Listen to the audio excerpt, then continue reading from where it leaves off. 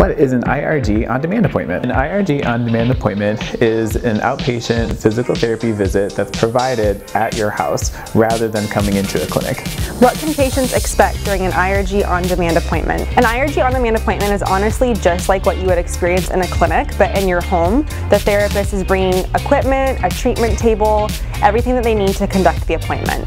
Why is IRG on demand a good option for patients? It's a great option because you can stay in the comfort of your home and it's kind of built around your schedule. We even see people on the weekends and it's really nice if you have something that prevents you from getting into the clinic easily like transportation issues or maybe there's inclement weather or maybe just sickness. It can also be people who have had a surgery and it's just also physically difficult for them to get into a car or get to a clinic. All of those are great reasons to try on demand.